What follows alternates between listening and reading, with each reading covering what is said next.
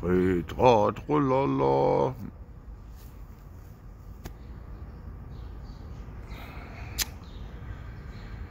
Warum bin ich so ruhig? Das geht den ganzen Tag so. Ich gehe den meisten Menschen jetzt einfach aus dem Weg. Aber nicht, weil ich Angst vor dem Virus habe. Ich gehe den Menschen aus dem Weg, um Abstand zu halten.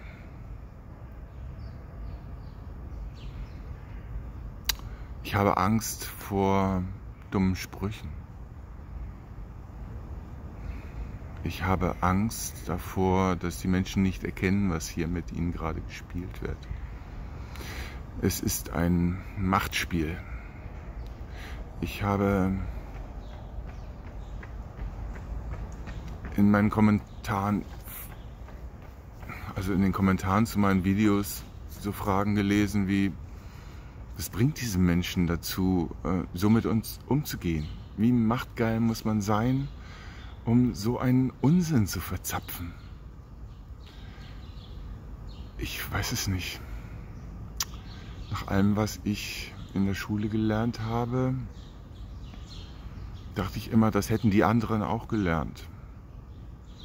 Aber die haben nicht gelernt, wozu das führt. Sie merken, ich atme auch schon wieder so auf so eine Art und Weise, die weit weg ist von irgendwie Lachen oder Wohlbefinden. Da würde ich gerne wieder hinkommen. Ich möchte gerne lachen. Ich möchte mich gerne wohlfühlen. Ich möchte gerne zwischen anderen sitzen und mit denen eine Gemeinschaft bilden.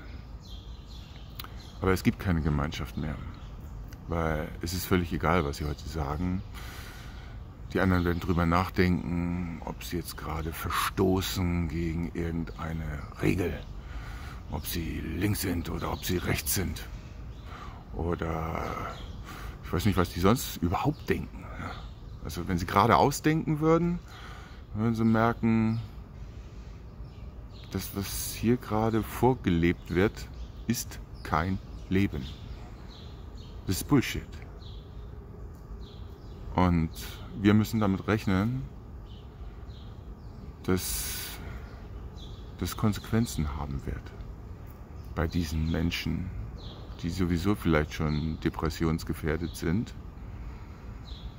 und konfrontiert sind mit einer Situation, die weiterhin zu nichts Gutem führen wird. Also, ich hoffe mal,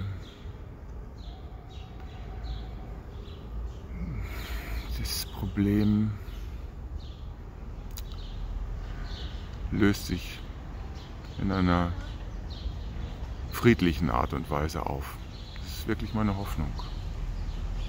Am 29.08. haben wir in Berlin eine große Party. So ist es gedacht. Und die wird friedlich sein. Sehr friedlich. Und die Menschen, die glauben, dass ich hier irgendwie neben der Spur liege, werden merken, dass ich hier den neuen Mainstream vertrete. Ich bin derjenige, der Ihnen jetzt schon sagt, dass die allermeisten Menschen in diesem Lande in wenigen Monaten ähnlich denken werden. Hoffentlich. Spätestens. Denken Sie jetzt.